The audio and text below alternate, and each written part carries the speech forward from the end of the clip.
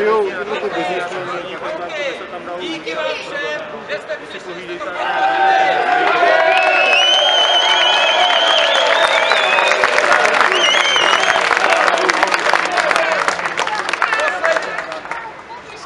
Celou dobu jsme o to bojovali.